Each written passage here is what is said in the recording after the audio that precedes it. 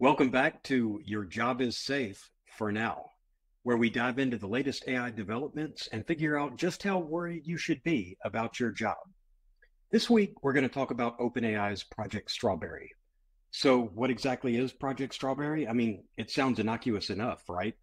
Strawberry is a highly advanced AI model that falls into what OpenAI calls the reasoner stage of AI development in OpenAI's grand scheme, they see AI evolving in five stages. Where we are now is stage one with chatbots. The next step will be the reasoners, which will evolve into AI agents and then innovators and organizations. We covered this a couple weeks ago, so we won't go into a lot of detail with that this week. But just Strawberry is important because it moves us beyond chatbots to the reasoners. It, it's not released yet, but it should be coming in the in the next few weeks or months. And I guess on reasoners, just think of them as they can tackle complex problems and then come up with solutions on their own, which is an important step toward developing true AI agents. So let's talk about what makes Strawberry so special. For starters, it's been crushing it on math tests. It scored over 90% on a collection of championship level math problems, which is a huge leap up from uh, GPT 4, which got a 53%. And I think GPT 4o, the latest model from OpenAI, got uh, 76.6% on the same exam. Um, and, you know, that's some serious number crunching skills, especially compared to uh, humans who participate in these math contests.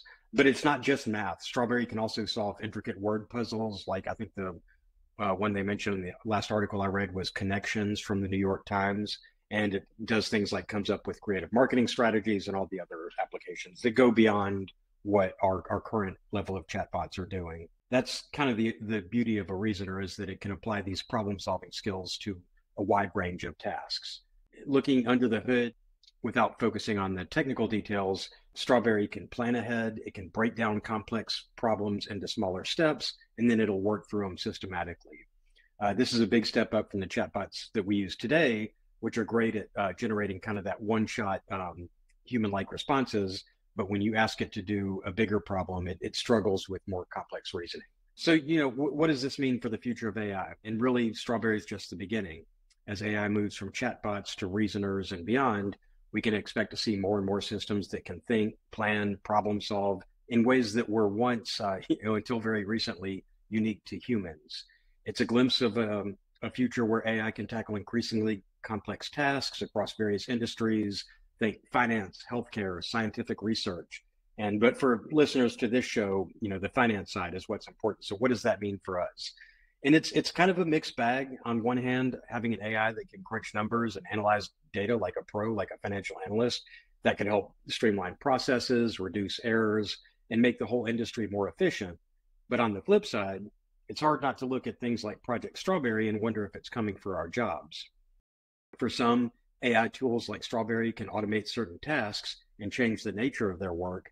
But for others, the same tools could augment their skills and decision making, allowing them to take on higher level and more strategic roles. The key is to approach AI not as a threat, but as a potential partner. And as the world of finance evolves, the most successful professionals will be those who can adapt, learn, and find ways to work alongside AI.